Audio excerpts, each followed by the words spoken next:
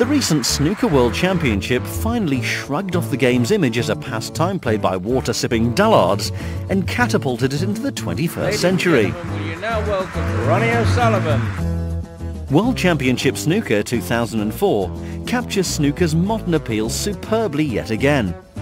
Whether you play with the aiming arrows fully extended or shortened, the controls feel so intuitive that within 10 minutes you'll have knocked in a minimum break of 20.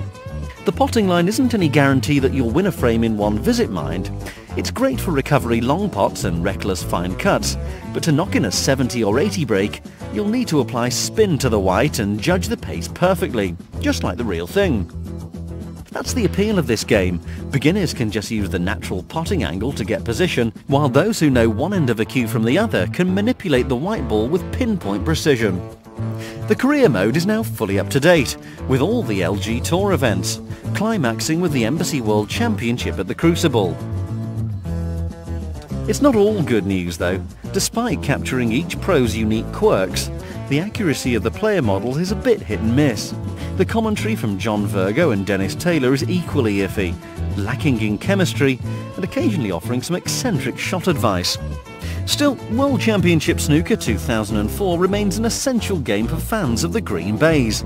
The ball physics and control system have always been the game's strongest point, and now they're backed up with a huge range of game modes and options. In fact, the only thing lacking is a touch of polish when it comes to player likenesses and animation.